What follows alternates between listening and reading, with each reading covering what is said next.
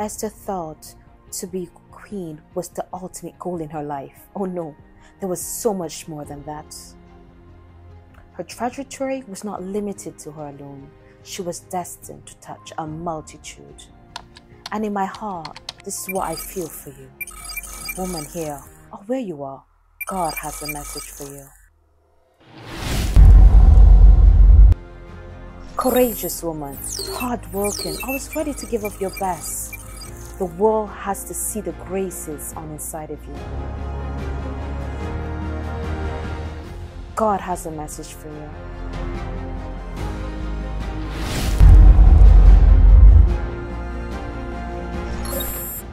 Businesswoman, courageous. You've overcome so much to get here. So now, go higher, go further. God has a message for you.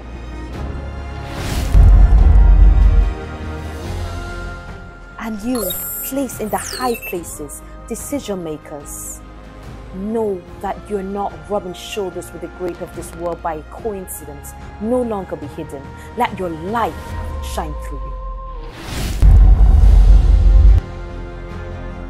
And you, woman who transmit the wisdom and the values of tomorrow. Don't give up. God has a message for you.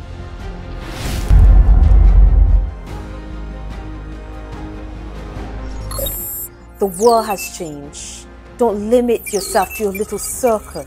Your impact has to be multiplied. You are an arch with life and destiny. God has a message for you. In fact, don't matter the status, the place that you occupy, your position is not your destination. The Lord wants to do so much more with you. Your story has to free a nation. You've been chosen, You've been positioned, so go further. I believe all, like Esther, God has placed a burden in your heart so that our people will be saved, freed, and transformed. Never again hidden, never again invisible. After a long absence, it's the big return of the Women of Impact Conference, Khayil 2023, on the theme Never Again Invisible. This year, our speakers are Pastor Yemisi Ashimolowo. The enemy wants you to quit. L'ennemi veut que vous abandonniez. But you need to let him know. Mais vous devez lui faire savoir. You are too late, devil. Tu es trop en retard, diable. My God did not bring me this far to leave me. Mon Dieu ne m'a pas emmené jusque là pour m'abandonner. Pastor Hortense Karambiri. When God sends you opportunities, may you recognize them in the name of Jesus. God will send connections that will be keys to trigger your destiny. Dr. Jazz Sculler. In evil times, you need the Holy Ghost.